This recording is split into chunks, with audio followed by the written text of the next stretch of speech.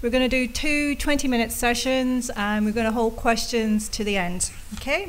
So it's my pleasure this afternoon to introduce, first of all, Michelle Agar, followed by Catherine McSherry. Michelle is going to give us the Australian version of uh, what we heard this morning. We heard from Ivy this morning about the um, American experience of collaborative sharing. So Michelle is going to talk to us this afternoon about CAVAL, um, Cooperative Action by Victorian Academic Libraries, which is an Australian library collaborative experience. So Michelle is currently working at Trinity, has previously worked at UCD, but spent seven years, eight years in Australia. So has lots of experience to share with us. Michelle.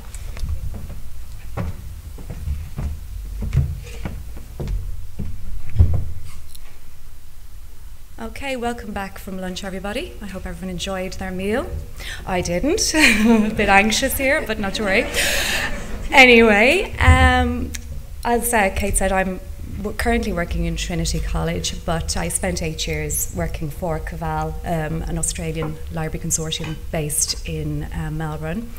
And this presentation is hopefully, if the clicker works, it's going to start. Oh, oh, back. Sorry about this. Okay. So um, I'm going to give you a little bit of a brief introduction to the background of CAVAL and what it is and how it's run and structured. A little bit about the collaborative services and partnerships that it does offer, uh, focusing in particular on two aspects of the service. So the CARM shared collection and the shared storage facilities are going to be the, the two topics I really concentrate on. So I will zip through really the, the preliminary, preliminary ones.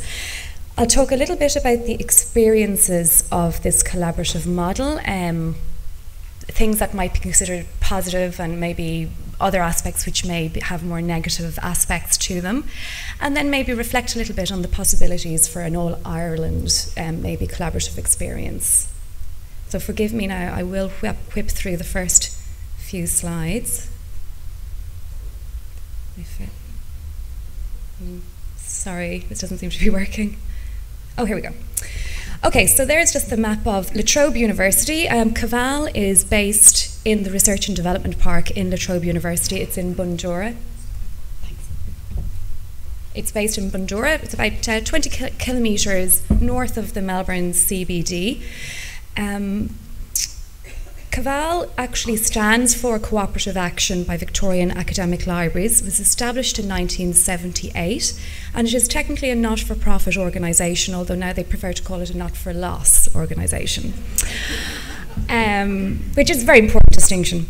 Um, its vision is really to anticipate, offer, and develop services in partnership with university libraries to support the integration and access of information resources for teaching, learning, and research and its value proposition, which is very important to its members, to provide access to cost effective and collaborative library support services through economies of scale, scope, and expertise in a trusted, secure, and risk managed environment. And we've heard, of course, this morning all about how important the issue of trust is in collaborative um, um, setups.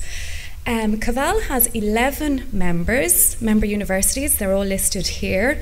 The newbies to the group would really be the University of Tasmania and the University of New South Wales, who obviously enough aren't from the state of Victoria. So the remit of Caval has, has expanded a little bit from just being a Victorian only focus.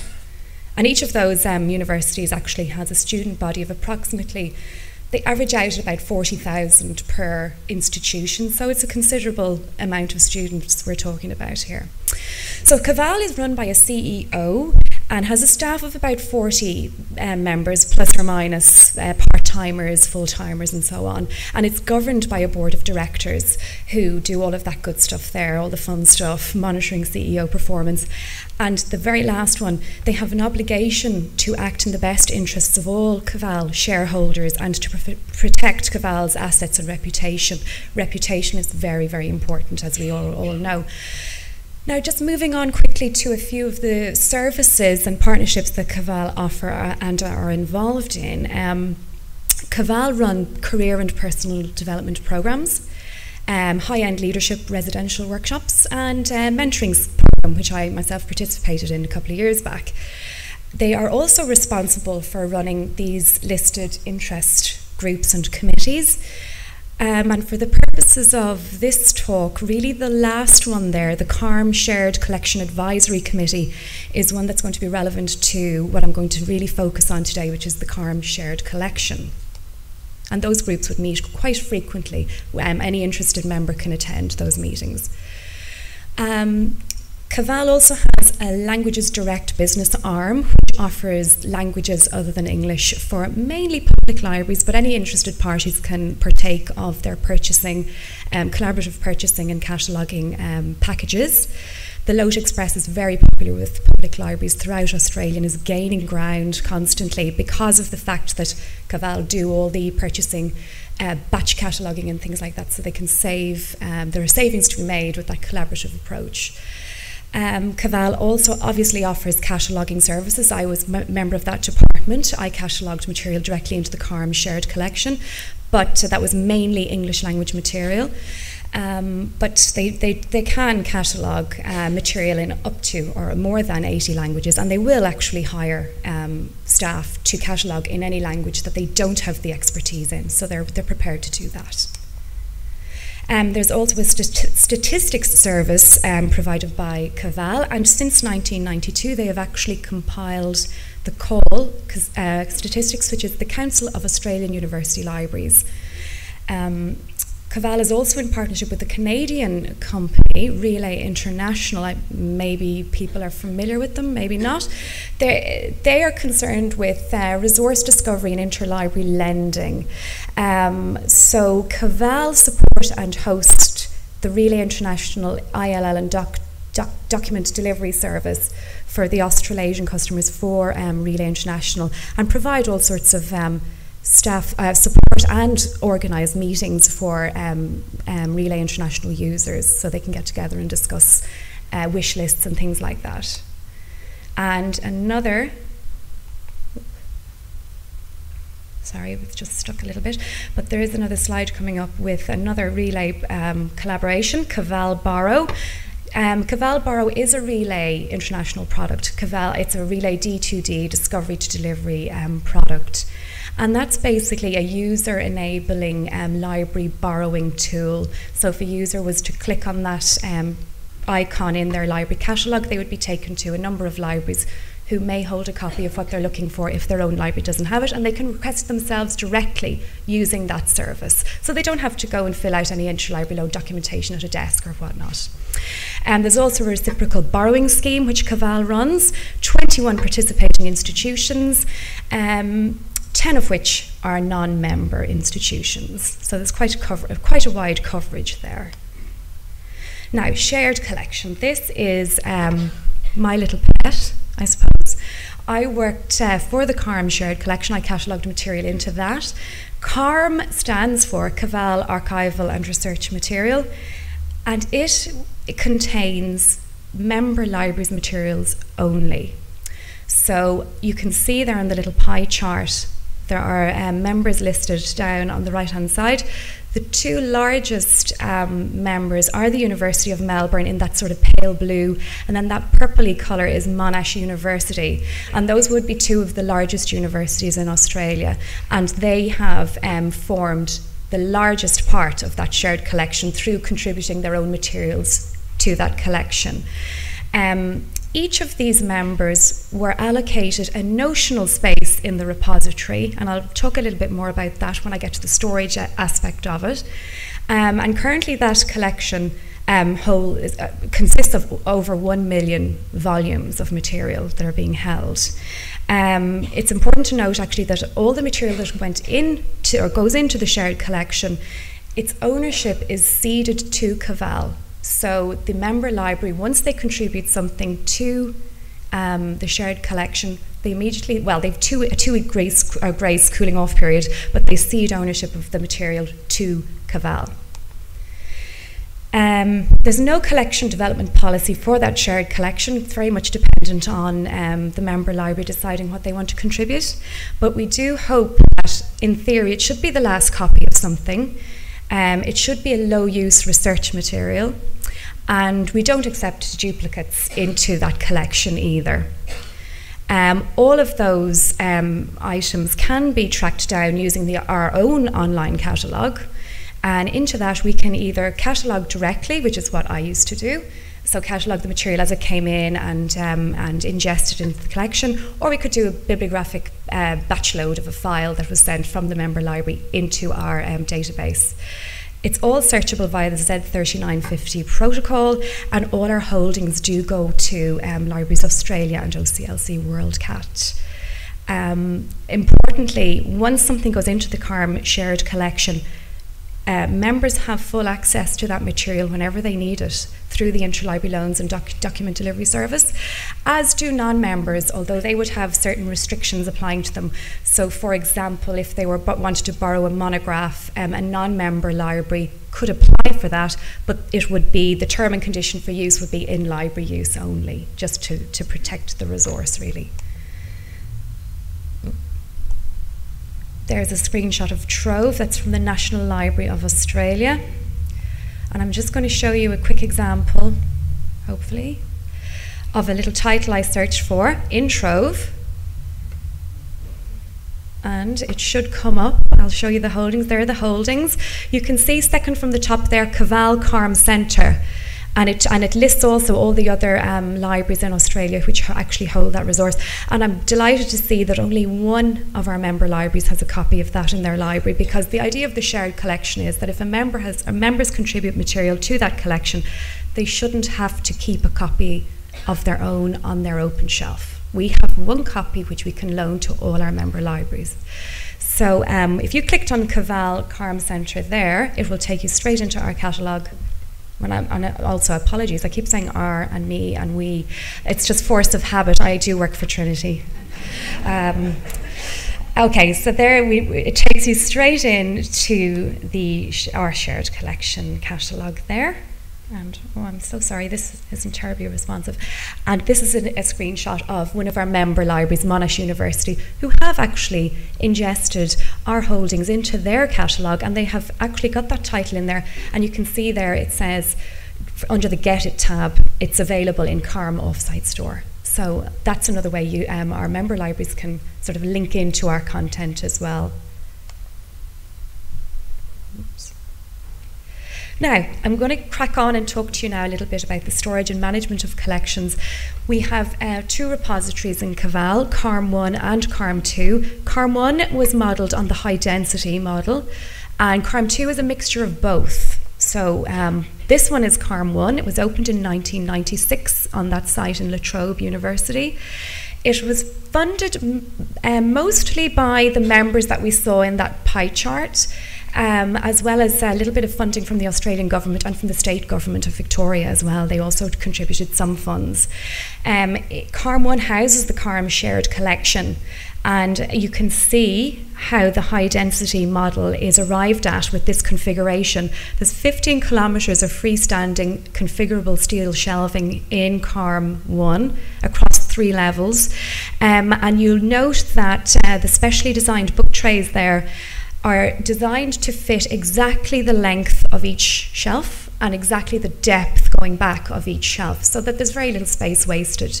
Um, on top of that, um, you can see that there's obviously no call number ordering going on here, no shelf marks it's all uh, shelved by size, and that goes back to the notional space in, in the shared collection.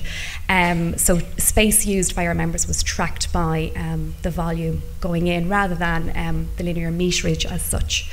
Um, and in order to locate anything in that store, you we use three layers or levels of barcoding. So, there's a book barcode goes on the book there's a tray barcode on the tray, and there's a location code on the shelf. And all of that information is scanned into a text file and then loaded into the bibliographic inform- or da- data in the database, um, which appears in the bib record and it'll appear in the item record as well. So if we do get a request for something, we know the barcode, we know um, the book barcode, we know the location, we know the box. So we know exactly where to go in the store to get it. And I should have also said that any unused space in that store or even space that was sort of accidental space, like walkway space, we could we were able to use as a kind of a sublease to any interested parties who needed storage for, say, artifacts. So that was a way of actually generating a little bit of extra income as well. There's just a shot of Carm 2, that's level 2 with the mesh flooring, which is nerve wracking when you look down, I don't mind telling you. And I'm moving on to Carm 2, I'm just conscious about time. Um, this is the one of the um, shots of the, uh, that's the fire exit stairwell there we were looking at. And there's another elevation there. And they're built side by side, I should have said, but there was a slide with the plan there, so I maybe should have explained that a little clearly to you. So CARM 2 repository was opened in 2010, and again, like CARM 1, it is climate controlled and secure. This one, as I say, has a high density and medium density configuration. Um, it consists uh, currently of three floor, four floor blocks of uh, freestanding steel shelving. Um, with room for a fourth block to go in into an area that's empty at the moment, but which we call the void, um, giving us about 48 kilometres of shelving in total there. Um, we can do the high density configuration in this store, um, but we can also do the um, direct dump of uh, shelf mark order batches into the store. And this is what we're seeing here. This image here shows a collection from RMIT Library of um, journals that are in call number order that have just been removed by a specialist removalist company and deposited directly onto the shelves. So no pre-processing whatsoever has gone on there. So it's much quicker and um, easier to do, and it's cheaper to do. It's a quicker move, and there's less handling. Um, and with uh, I have a note there, the members and non-members own collections are housed in this uh, facility, but we also have some space for Caval for any growth for the shared collection, so it's got somewhere to move into, seeing as CARM 1 is now full. Um, what has been popular with this model is the fact that the members were able to lease their space out whilst they, it was unused. So um, they were able to do deals amongst themselves. If somebody temporarily needed, I don't know, two kilometres of space for eight months. They were able to work, come to an arrangement themselves, so they were able to save a little bit, in, uh, um, a little bit of money in, in by that sort of collaboration. It was funded by three of our of Caval's members and Caval. Um, they are Melbourne University, Monash University, and RMIT University. Um, that is the configuration of the allocation of space that each of the institutions have in there. Um, and you can see the block at the end, void, that's where the fourth block could be built if, if need be. Oh my goodness me, I'm going to scoop up sketch on because I've got the light. Um, quickly reflecting on why was this built well our members were sort of moving a little bit away from the shared collection idea and they wanted desperately somewhere to deposit their own collections where they didn't cede ownership of their of their material so um, when they looked at the various options oops when they considered the various options, the do nothing preservation outcome, as you can see there, poor and risk very high. CARM 2 upfront commitment, which is what we're talking about here. As you can see there, the preservation outcome was deemed excellent and the risk low, which is uh, really a motivating factor for the members to actually make a decision on moving forward with the CARM 2. And here are the cost per volumes. Now, this is from obviously 2008 and 09. Um, but you can see the very first one, capital contribution, which is what our members, our three members did, high density configuration.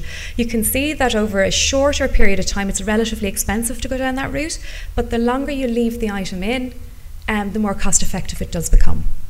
And that was, again, a motivating factor, I think. And there's just a shot of Carm 2 when it was empty.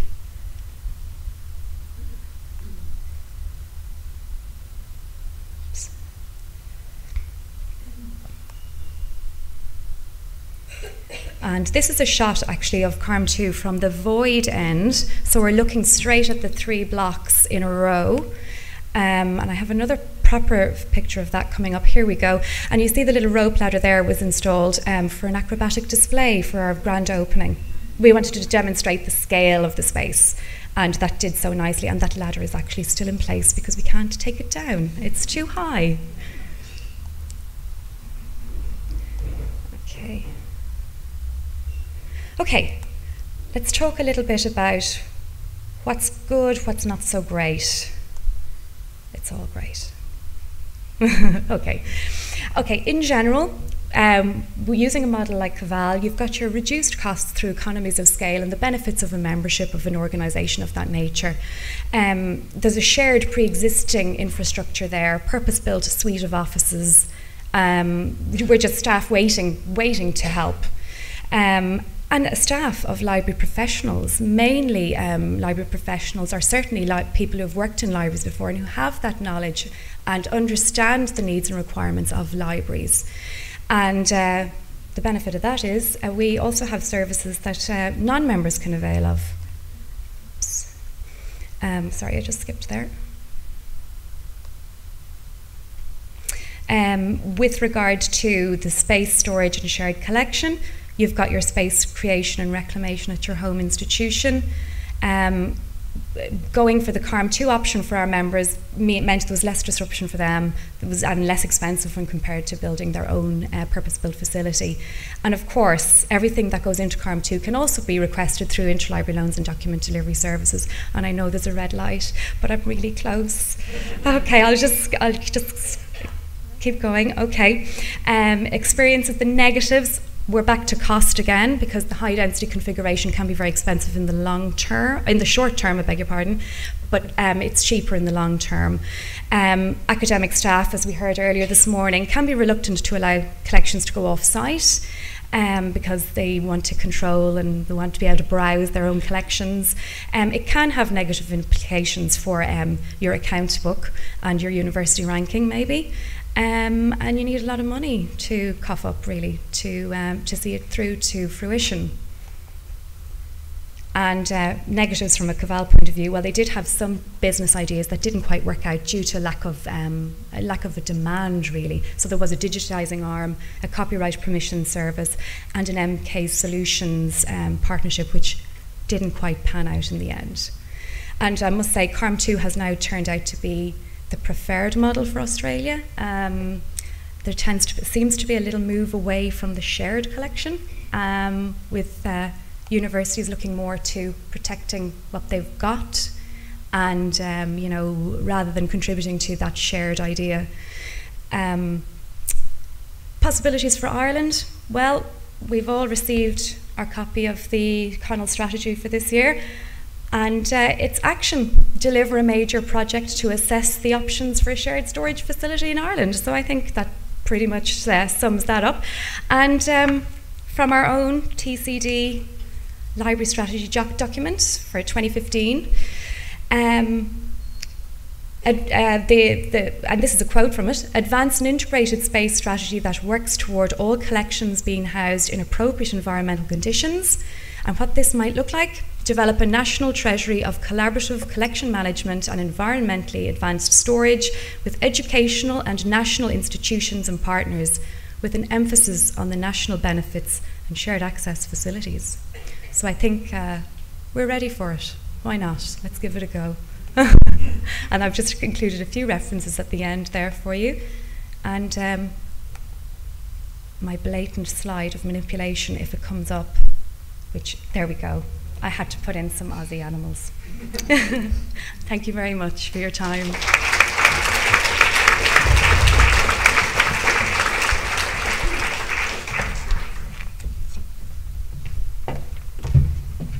Thank you, Michelle. That was really interesting and very pertinent to the CONUL strategy, as you